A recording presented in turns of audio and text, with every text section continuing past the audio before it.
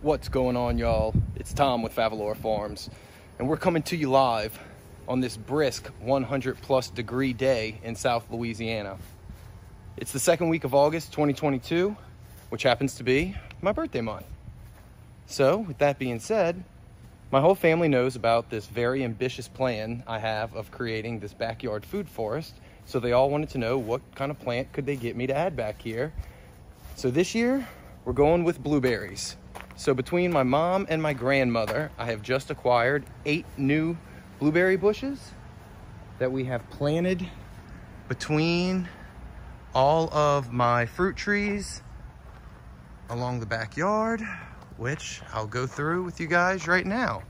So starting over here in the corner, just behind our Meyer lemon tree, which has a whole bunch of fruit on it right now, and our Satsuma tree.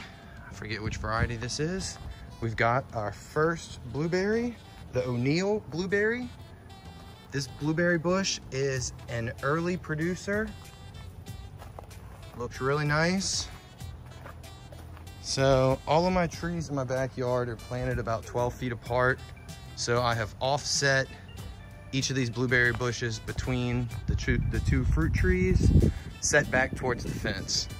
Our second variety right here is a Jubilee blueberry, which is a mid-season blueberry. I tried to pick varieties that will fruit all throughout the year, or throughout the season, let me rephrase that. So we can have about three or four months of picking blueberries back here. So right next to our other Satsuma tree, which has some very nice looking fruit on it, is my Climax blueberry. This is an early producing blueberry. Really like the color of the foliage with this gray green color, kind of like an olive bush look. Very nice. So coming around next to our climax, we have a Brightwell blueberry bush. This is gonna be an early to mid-season bush. Um, what I really like about these is that in the fall, you'll see the leaves are gonna turn red. This one's already starting to do that. This should be very nice. Um, and what the goal is, obviously these blueberry bushes are gonna get six to eight foot tall, hopefully, and widen up to where we can then have basically a green hedge along the fence of all blueberry bushes.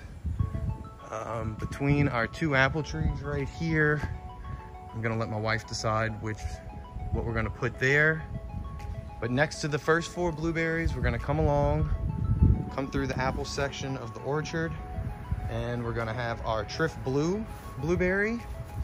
This is another one that's gonna have some red foliage on it in the fall as it's starting to turn already.